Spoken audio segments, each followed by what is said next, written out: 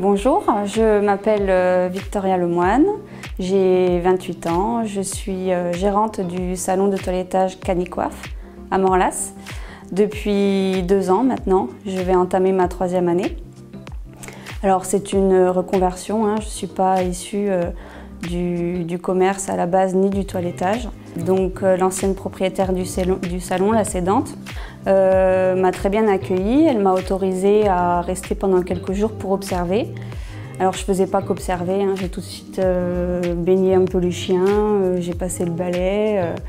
sauf que ça ne pouvait pas durer comme ça parce qu'il fallait quand même que j'ai une formation, que les choses soient faites, faites, en bonne et due forme.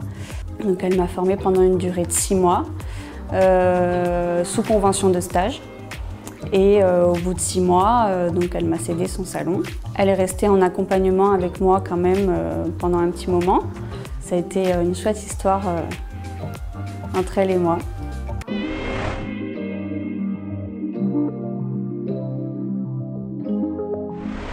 Alors effectivement, reprendre une entreprise, c'est bien, mais moi j'avais aucune notion de gestion d'entreprise. Donc il a fallu vraiment que je m'entoure de personnes professionnelles. Donc l'ancienne cédante m'a dirigée dans un premier temps vers la chambre des métiers, euh, où j'ai eu un rendez-vous assez rapide. Euh, on m'a très vite euh, aiguillée vers les personnes compétentes.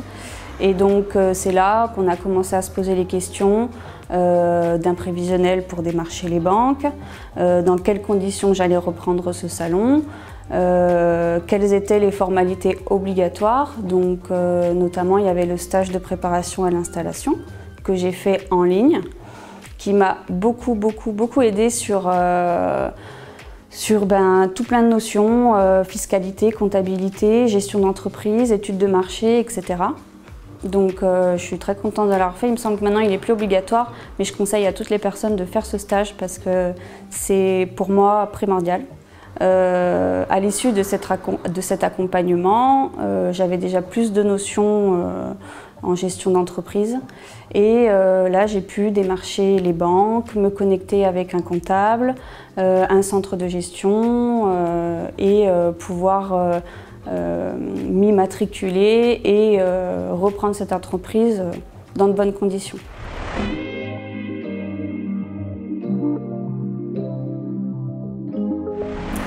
j'ai accompagné euh, Victoria Lemoine euh, dans le cadre de son projet de reprise d'entreprise euh, de toilettage canin sur Morlas. J'avais rencontré Madame Girard au préalable. En fait, j'avais réalisé un diagnostic transmission.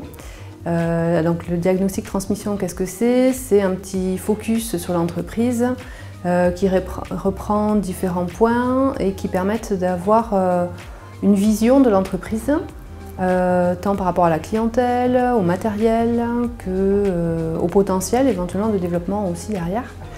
Euh, et dans certains cas, on va jusqu'à l'évaluation de l'entreprise. ce diagnostic est remis au chef d'entreprise, au cédant, pour aussi l'aider bah, à présenter son outil de travail.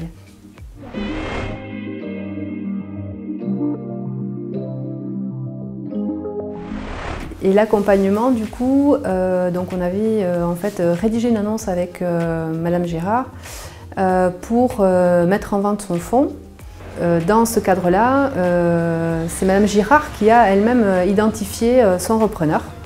Et moi j'ai pris du coup le, j'ai pris le relais et j'ai accompagné le repreneur sur la partie bah, financière, approche financière et surtout l'accompagnement d'un montage de projet. Euh, pour redimensionner aussi hein, l'entreprise, puisque la transmission, ça peut être l'occasion de redimensionner une entreprise. Et puis parce que quelqu'un qui reprend une activité a parfois de nouvelles idées à apporter. Donc euh, c'est voilà, une façon de valoriser l'outil de travail.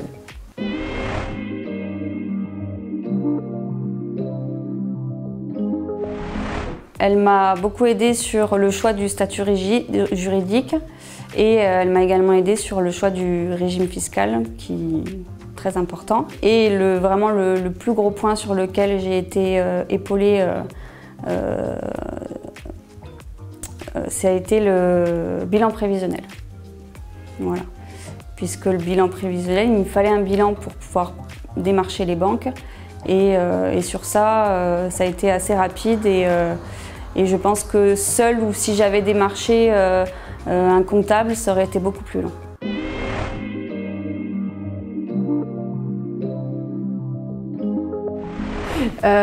en fait, à chaque fois, c'est des parcours différents parce que ben, ça tient à la personnalité de chaque porteur de projet.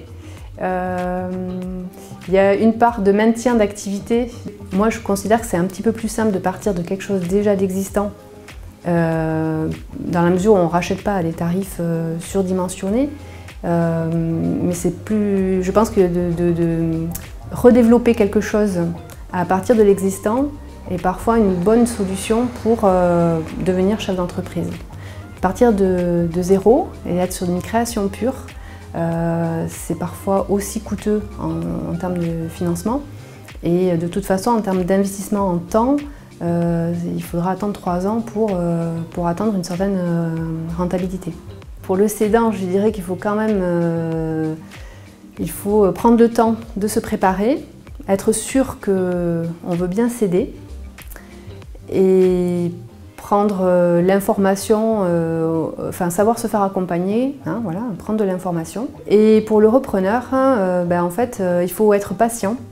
Et bien souvent, ils ont trouvé l'entreprise qui les intéresse, et derrière, ils voudraient déjà être rendus à la reprise et être, avoir les clés en main, alors qu'il faut, ben, il faut le temps de se préparer à sa reprise et à devenir chef d'entreprise.